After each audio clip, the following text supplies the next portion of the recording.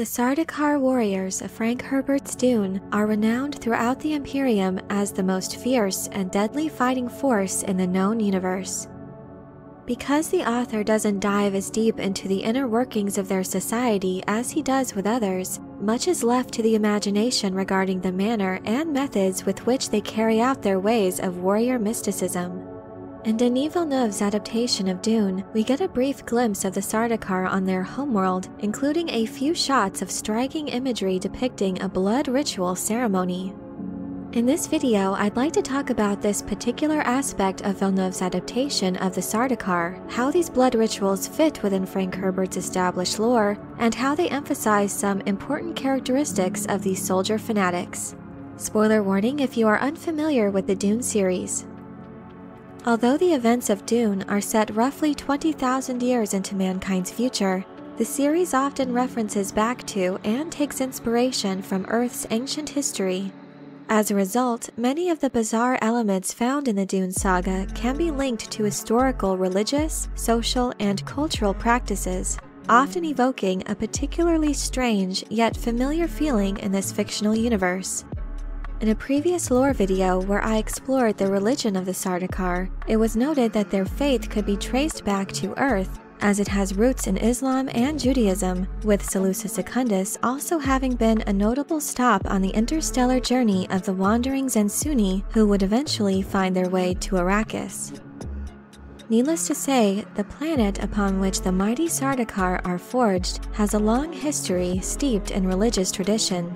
Therefore, to many, it makes perfect sense that the emperor would continue to rely upon the fervor and zeal that the religious history of Salusa Secundus could incite in order to maintain the ferocity of his fighting force. Fittingly, in Villeneuve's Dune, a religious ceremony is depicted in which many thousands of Sardaukar are assembled, and what appear to be priests or priestesses are shown walking among these warriors, marking their foreheads with blood. This blood is revealed to have been collected from a number of upside down crucified bodies. All throughout this scene, a throat singer can be heard, no doubt serving as a significant part of this religious ceremony. When examining the use of blood in this ceremony in particular, a few details can be speculated regarding their correlation to the use or view of blood in the practice of ancient earth based religions. A common thread running through many ancient religions on Earth is a venerated view of blood as something sacred or holy. This is certainly how blood is viewed in Judaism and Islam, both of which are said to have strongly influenced the religion of the Sardaukar.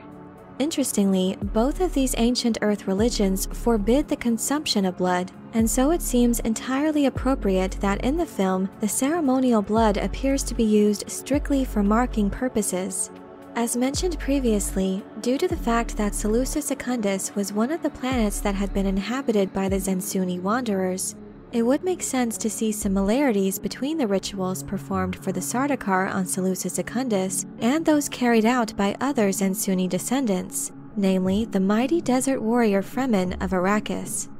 After the events of Dune and the unleashing of the Fremen's bloody jihad across the Imperium, it is mentioned by Chani that Fremen tribes had revived old rites and blood sacrifices. No doubt to many, this small detail serves as an interesting link to what was depicted in Dune Part 1 on Salusa Secundus, supporting the idea that these two groups have some form of a shared religious ancestry. Regarding the bodies depicted in the ceremony, viewers have speculated that these may be prisoners of war who were sacrificed as part of this ritual intended to prepare the troops for their next battle. However, in considering the lore of the Sardaukar and what has been established about Salusa Secundus, I find that it's far more likely for these bodies to have belonged to failed trainees or fallen members from within their own ranks. Along these lines, the appendices of Dune bring out that members of the Sardaukar are typically trained from a young age, with the inhospitable environment on Salusa Secundus being responsible for nearly half of the deaths of all persons before reaching 11 years of age. Similar to the training of the Spartans of old, only the strong survive, a mentality which no doubt fostered and fed each soldier's view of themselves as elite and superior beings.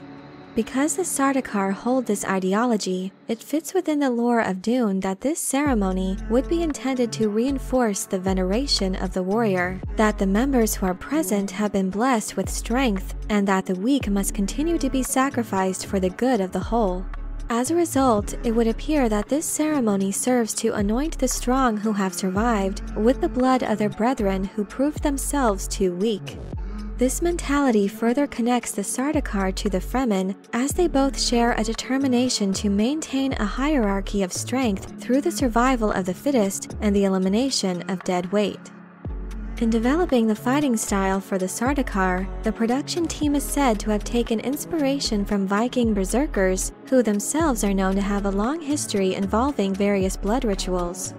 In an interview with Entertainment Weekly, stunt coordinator Tom Struthers points out the intentional similarities to the Vikings in Villeneuve's adaptation, as the Sardaukar's fighting style is said to be immediate and head on, and that their whole approach is like Berserkers, where they want to mow down the enemy without any regard for their own lives.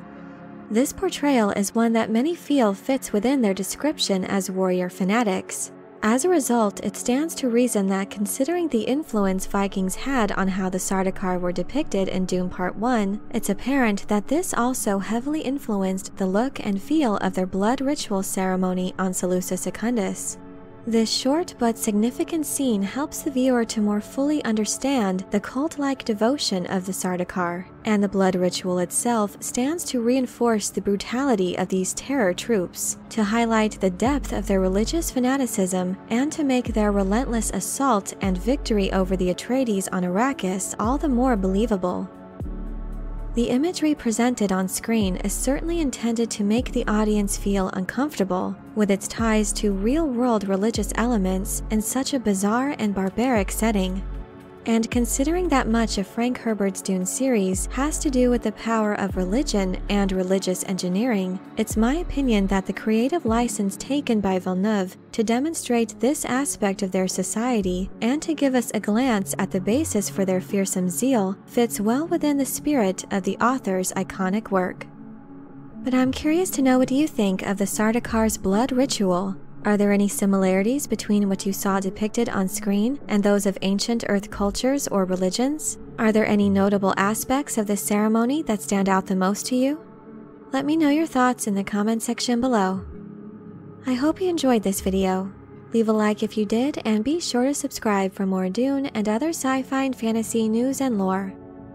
Thank you all so much for your support, and as always, have a very nerdy day.